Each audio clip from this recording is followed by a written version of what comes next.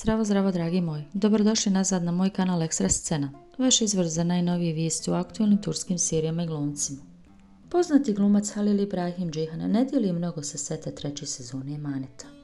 Glumac kojeg inače viđamo samo u njegovim objavama, teško prolazi. Halil Ibrahim Džihan nije uznemiren vješću da nije sretan. I nastavlja sa objavama koje potkrepljuju te tvrdnje. Halil Ibrahim Džihan rekao da je ponovo bio sam posljednjem videu koji je podijelio. Napisao je Emanet treća sezona i podijelio video. Vili po oblačnom vremenu. Glumac više nema potrebu skrivati da nije sretan u seriji.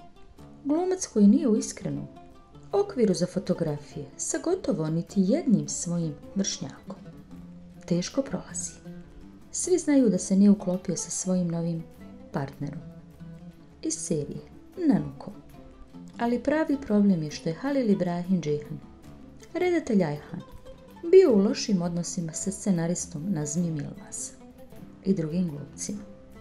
Posebno redatelj Ajhan Zen, jedan je od onih koji najviše podržavaju Nanuku na setu. Činjenica da je podržavao Nanuku u svim problemima koje je imala sa Halilom. Samo je živcirala Halila Ibrahima Džihana. Međutim, udaljena veza između drugih glumaca. To je učinilo da se slavni glumac osjeća usamljeno na setu.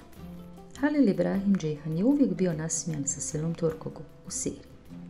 I uvijek smo odgovarali njegovom vedrom raspoloženju na setu. Ipak niti jednom ove sezone Halil Ibrahim Džihan nije nasmijan. Pozirao pred kamerama.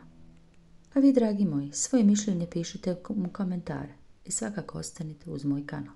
Veliki pozdrav!